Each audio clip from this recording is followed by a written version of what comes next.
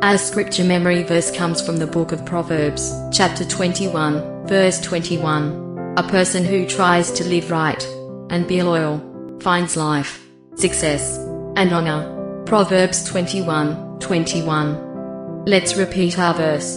A person who tries to live right and be loyal finds life, success, and honor. Proverbs 21, 21. One more time. A person who tries to live right and be loyal finds life, success, and honor. Proverbs 21, 21. Thank you for joining Mighty Sound Kids today. Please subscribe to our YouTube channel, and thank you for clicking the like button. Music and ministry for a multitude. Jesus is the answer.